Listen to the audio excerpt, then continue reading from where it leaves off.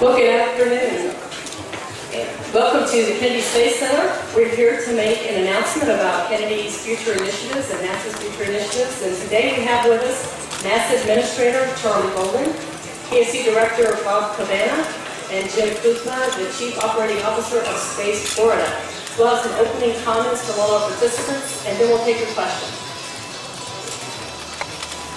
Thanks very much, Lisa, and thanks very much for all of you coming down today. It's a, it's a big weekend, not just not just a big day, but a big weekend. But but there is uh, there's some business to take care of before we get into the weekend. So we thought we would do that first, and then let everybody have fun. Uh, I want to first of all uh, thank Governor Rick Scott, and I want to thank Frank DiBello of Space Florida, who've been working with NASA for quite some time now to make sure that the Florida Space Coast continues to play an indispensable role in America's civil space program. Their efforts at attracting more commercial partners like Boeing, Bigelow, Rocket Crafters, Lockheed Martin, and Sierra Nevada to the Space Coast are not only bolstering America's space program, they're bringing jobs and boosting the economy here in the region. And a strong space economy is good for the nation. For more than 50 years, the road to America's leadership in space exploration has run through Florida and the Kennedy Space Center. We intend to build on that success, and we envision an even greater role for the Space Coast as Kennedy transforms into a 21st century launch complex and plays a major role in the most ambitious missions in NASA's history, which include human journeys to an asteroid and on to Mars. Tomorrow marks the official grand opening of the Space Shuttle Atlantis exhibit at the Kennedy Space Center Visitor Complex. And uh, I have not seen it yet, but I have heard from many, many, many, many, many, many, many, many, many people uh, that it is absolutely spectacular. So I look forward to seeing it this afternoon. But we're here today, or at least this time, to make it clear that the end of the shuttle program heralds the beginning of a new era in human spaceflight. With much of it happening right here at Kennedy. In fact, with the help of Space Florida and Lockheed Martin, Kennedy's historic operations and checkout facility has been transformed into a final assembly and testing site for the Orion spacecraft, which will carry humans farther into space than ever before and make its first uncrewed test flight next year. In early June, Orion passed a critical series of static load and pressure tests designed to simulate conditions it will encounter in flight. Progress is being made to transform B at Kennedy's Launch Complex 39 to support our heavy lift rocket, the Space Launch System, and other commercial launch vehicles. And this week, at the Marshall Space Flight Center in Huntsville, Alabama, engineers tested the adapter that will connect Orion to the Delta IV rocket that will launch it on its test flight next year. In 2011, NASA announced the establishment of our commercial crew program here at the Kennedy Space Center. Last year, we selected three companies, Boeing, Sierra Nevada, and SpaceX, to develop the capabilities to help us to once again launch our astronauts from American soil to the International Space Station. Since then, all three companies have set up shop here on the Space Coast. It's time to stop outsourcing that work to foreign countries. It's time to bring those jobs back home. We plan to do just that within the next four years. The young man standing right over there who's wondering what in the world is going on here, uh, and may one day be in his place, uh, running the Kennedy Space Center, can be very proud that, that we're launching Americans from here again. SpaceX has already launched two successful cargo resupply missions to the ISS from the Space Coast, and Orbital Sciences is preparing to launch its first cargo mission from our Wallops Flight Facility on the eastern shore of Virginia in coming weeks. Our commercial crew partners have all recently announced the completion of important milestones to keep us on track for our capability to launch U.S. astronauts from, from American soil later this decade. And all of them are on track to complete all of their milestones on schedule. We're also moving forward with plans to repurpose some of our dormant shuttle facilities. Today, we're pleased to announce that we're entering into negotiations with Space Florida to take over operation of the Kennedy Shuttle Landing Facility for use as a combined airport and spaceport. This will continue to expand Kennedy's viability as a multi-user spaceport and continue to strengthen the economic opportunities for Florida and the nation.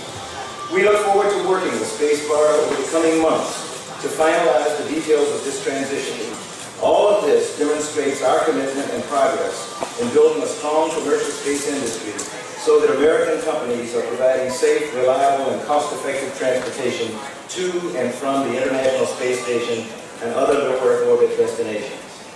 NASA's investment in commercial space is paying off for the American taxpayer, and it's allowing us to focus on challenges we need to overcome to reach an asteroid in Mars. We're excited about the innovation and resourcefulness of our commercial partners and look forward to many milestones ahead. And now it's my privilege to ask um, a, a very good friend of mine, a longtime friend of mine, fellow Marine, uh, and the director of the Kennedy Space Center, Bob Cabana, to come up. But I want to say one thing about Bob while he's on his way. You know, we could, um, there could be anybody running the Kennedy Space Center. Uh, I'm not sure anybody could do what Bob has done in the period of time he's been here. This has been very difficult. Um, we, we all get emotional about it. Uh, Kennedy is going through a transition, and it is one like I think the American space program has ever seen before. The transition from Apollo to uh, Apollo, Soyuz, and Skylab, and then to shuttle uh, took place over a period of time, but that was a transition uh, to low Earth orbit operations. Uh, One that, that although not very easy because of the vehicle involved, the winged vehicle, but one that was much more easy than what, what Bob has been encountering here at the Kennedy Space Center. So uh, I want to publicly thank him for everything he's done. He's been awesome. Um, I'm privileged to call him a friend and a colleague, and so Bob Cabana. Yes.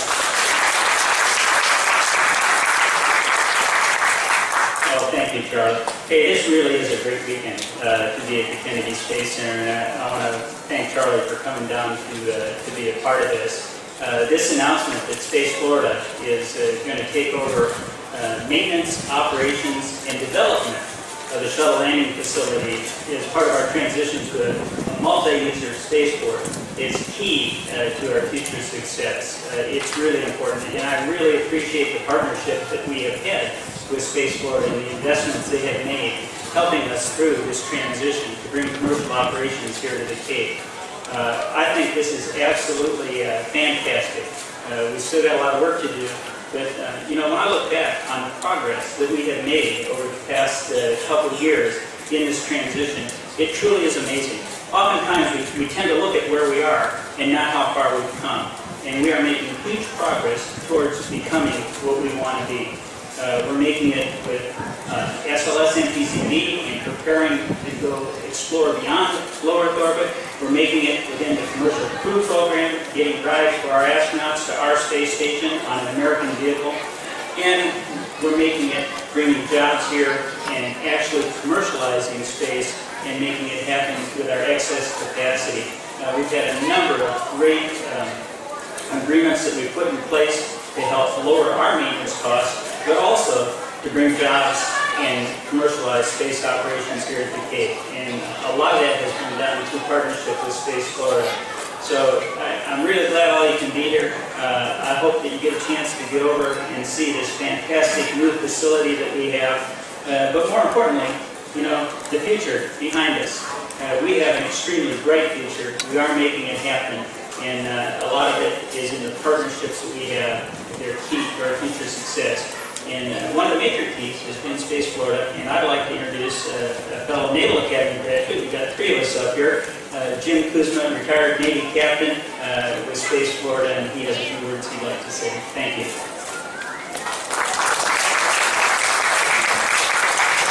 Good afternoon, uh, Mr. Bolden and uh, Bob, on behalf of the governor and Frank Bell, we appreciate uh, not only the, the trust to uh, internegotiate with us the operations of the shuttle landing facility, but all the other partnerships we have. And truly, your staff has been tremendous in negotiating and working with us to achieve the goal of bringing more information to more business and commercial business to the Space Coast. Uh, We look forward to uh, enhancing and facilitating new and emerging suborbital launch providers, unmanned systems, as well as other aerospace development companies here. And and truly, Bob, as you talked about, we are looking to use as development, and your, with your team, right, your team, sir. Uh, we look forward to doing that in the very near future. So thanks very much.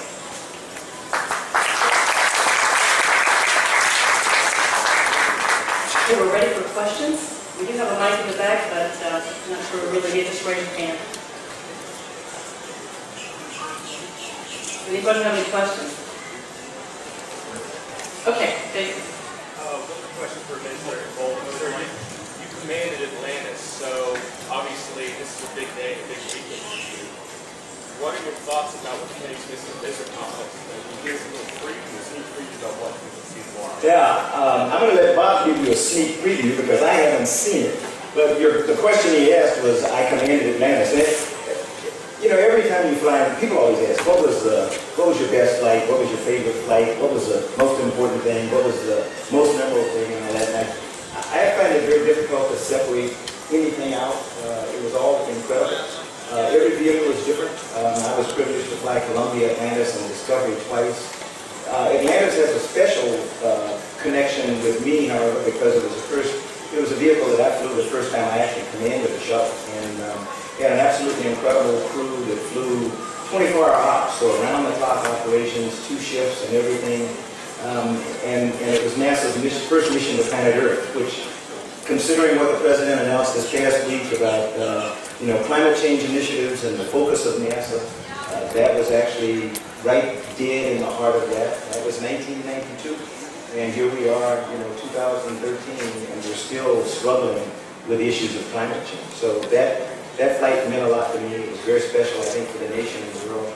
And uh, and you will probably see me get emotional, so that's why I'm trying. I'm going to try not to talk to anybody uh, in the media and stuff like that as I go through this. Uh, Pam Adams over there will be holding my hand. My wife is here, who will be saying, "Please don't cry." So let me let Bob give you a preview of what we're going to see. It is awesome. It is spectacular. Uh, we showcase Atlantis, uh, but it tells the 30-year history of the shuttle program and the amazing team that made it all happen. Uh, I think we display Atlantis uh, like no other orbiter, uh, and folks are going to get to see it as only a very few have on orbit. It truly looks as if it is flying in space, and it, is- it's you get so close you can you're about that close to being able to touch it. And uh, it, it's just, uh, it'll bring the tear to. It, it will capture the imagination of another generation. It will continue to inspire as it starts off on its, on its second mission in life. It was a phenomenal spaceship. Uh, it helped us explore and discover, and now it's going to lead a, uh, a mission of inspiration uh, to future scientists, engineers, and explorers, and it's absolutely fantastic. And I, I want to thank uh, Delaware North, our uh, operator of our visitor center, for the outstanding job that they did working with us uh, to get this facility done on time and to be able to display it in a way that we can share it uh, with the entire world. Uh, it is, it, it's, it's more than you can possibly imagine. I, I think you're going to be blown away when you see it. Uh, I was. It, it's, it's pretty special. Thanks.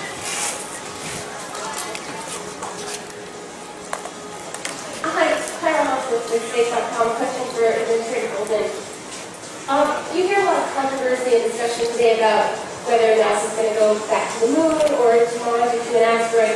What is the most important next step in your mind for future human space exploration? Oh, the most important next step for the future of human space exploration is for us to get through this period of uh, very difficult work with our three contractors, SpaceX, Boeing, and Sierra Nevada, to um, get to the point where we can select one or more uh, providers of that service so that we get the capability to carry Americans back into space uh, from American soil. That's the most important next step, and it's critical because that's the step that allows us to continue to source uh, or resource the International Space Station.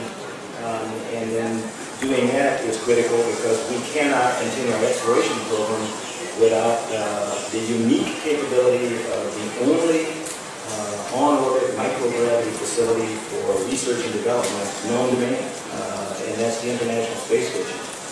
Then come things that we've been talking about that we get really excited about, an asteroid mission that's going to help us to demonstrate the capabilities, some of the technical capabilities we don't currently have that are going to be necessary to, to proceed on to Mars. Uh, also, um, give us an opportunity to see if some of our theories about, uh, you know, potentially protecting the Earth are true, or, or good, or valid.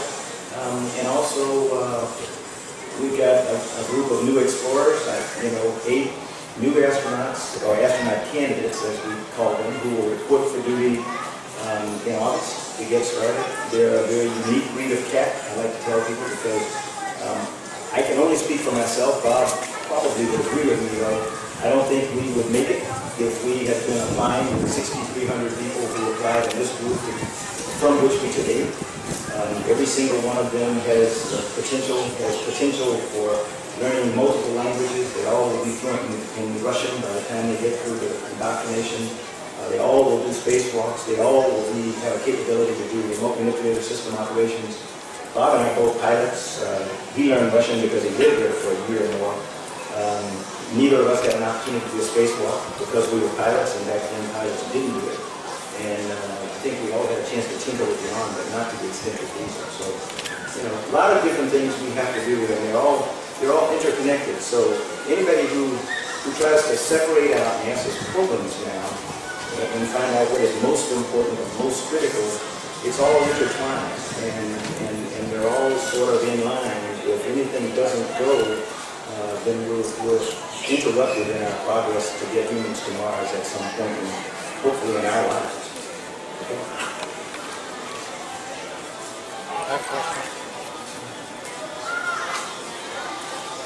Dan Dole from West TV.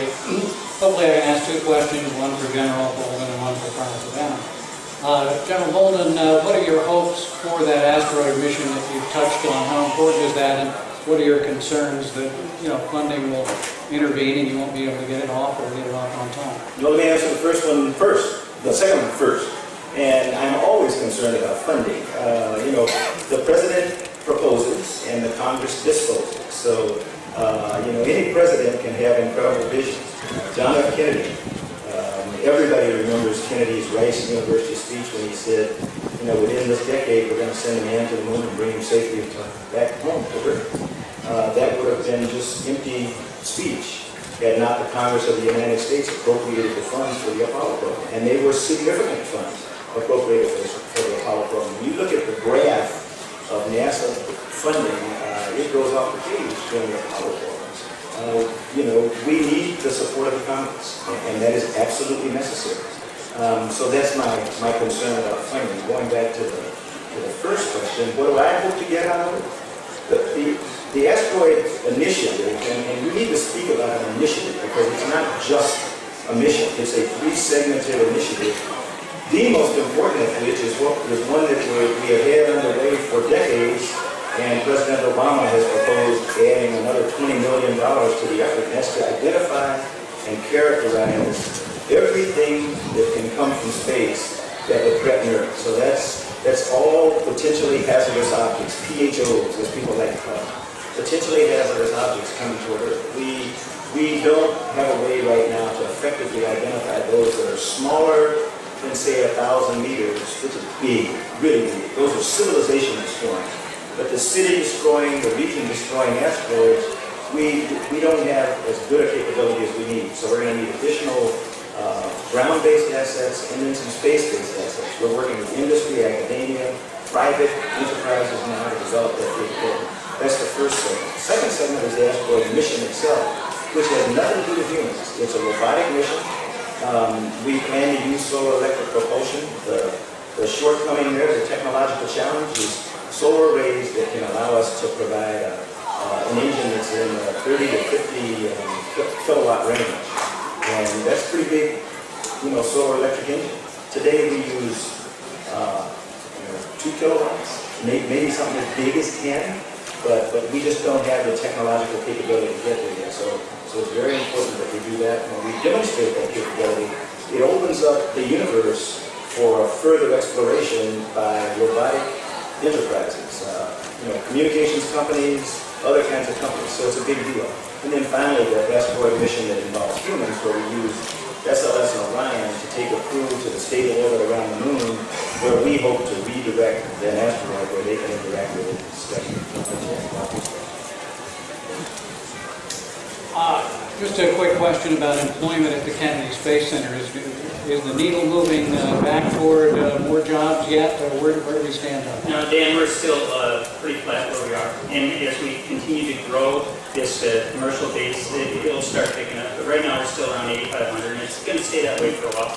And it'll be, you know, a year or more before we start ramping back up. But again, you know, it'll never be what it was during shuttle and It's a, it's a different kind, but I think it's definitely a, a positive atmosphere here. Things are improving greatly on a, on a weekly basis. I'm Scott Holmes from newsplusnotes.com, and this is for you, Administrator Bolden. What importance do you have, or could you just say a few words about facilities like the Kennedy Space Visitor Center virtue in regards to inspiring youth towards their careers, but also gaining public support for? NASA has, um, it- our education program has a variety of kinds. One is formal education. So you will see our STEM education program goes directly to teachers and students in schools. Uh, a very important part of our, of our education program is what we call informal education. That is the Kennedy Space Center, Challenger Learning Centers, the, um, California Science Center out in LA, Intrepid Museum, all the musea, museums and forums around the world with whom we work. And they play a critical role because schools cannot reach everyone. Um, it is places like the Kennedy Space Center that bring people from all over the world to see things that they would otherwise never see in their lives. Um, as Bob said, you, you know, there are not a lot of places where you're going to be able to get as close to an orbiter as you're going to be able to get when you get inside the Atlantis exhibit here. There is nowhere else in the world that you will be able to see an orbiter that looks the way it looks when it's in when it's in flight in space. Uh, that is a very, very, very, very unique opportunity to see it in a unique configuration. Even when uh, we were processing orbiters here and the payload bay doors were open, let me tell you, you didn't even you couldn't recognize it was an orbiter because it was you know all wrapped around with platforms and stuff like that, and you just you didn't know that there was a vehicle in there. You're going to see the orbiter the way that another approaching vehicle would have seen it on orbit, or the way that a spacewalking astronaut out on the arm or working on the International Space Station will have seen it, with the payload bay doors open, looking down in the payload bay. Uh, and I haven't seen the exhibit, but I think most importantly, as Bob says, it is going to be a part of the progression of human, human the story of human spaceflight. Most critically, helping young people like her, or her, or some of the other kids that are around here understand that, you know, what those little guys did, that was great. But that's nothing compared to what I'm going to do. Because I'm going to go beyond the Earth orbit. I'm going to be one that's going to be on an asteroid mission. I'm going to be one that's going to be the first to stand on another planet. Human beings have been dreaming of standing on another planet um, since long before uh, the Wright brothers invented the airplane, long before Lindbergh flew the Atlantic. Uh, that has always been a dream of humanity, and we're, we're perilously close to having the capability to do that. But it goes back to the question over here. Um, it has got to be a collaboration between the Congress and the President, supported by you, the American public. So you play as critical a role in, in seeing that come about as anything, and that's what's the, the real importance of places like uh, like the Kennedy Visitor Center is helping to convince you that we're not just about fancy. You know, we're not just we're not just dream making. Um, this is real. We can do this, and by having an opportunity to see Atlantis, something that uh, you know, when when Bob and I were growing up, man, that was science fiction. That would that would have never happened. Winged vehicle flying around Earth, and then coming back and landing on a runway. Buck Rogers did that kind of stuff, but he didn't land on a winged vehicle. I think he came back. Uh, I mean, it, this is an opportunity to see the progression we've made, but more importantly, to see where we're going in the future, and that, that's critically important for everybody.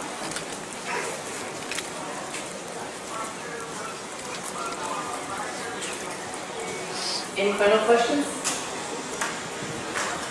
Okay, well, thank you for coming.